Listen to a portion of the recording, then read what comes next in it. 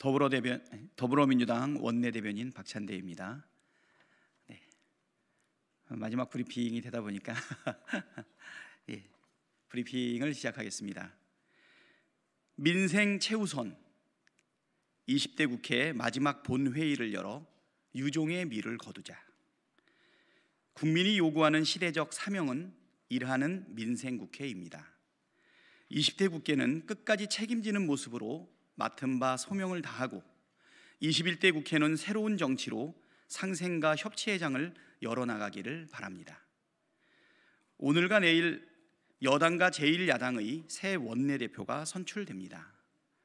여야는 곧바로 다음 주부터 본회의를 열어 국민과 민생에 도움이 되는 법안 처리 기회를 만들어야 합니다. 민생 입법 처리는 20대 국회 마지막 소명입니다.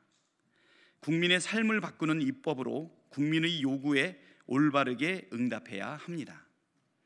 민생경제 법안을 비롯해 제주 4.3 특별법, 과거사 정리법, 기초학력 보장법, 대양교육기관에 관한 법, 지역상권 상생 및 활성화법, 대중소기업 상생협력법, 엠번방 재발 방지법, 헌법 불합치 관련법 등과 코로나19 국난 극복을 위해 필요한 법안 등을 신속하게 통과시켜 유종의 미를 거두어야 합니다. 아울러 21대 국회는 신속한 원 구성 협상을 마쳐 6월 1일부터 정상 가동되기를 바랍니다.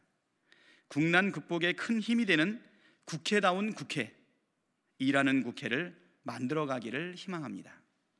민주당은 180석의 큰 뜻을 겸손히 받아들이고 두려울 만큼 무거운 책임감으로 임하겠습니다. 이상입니다.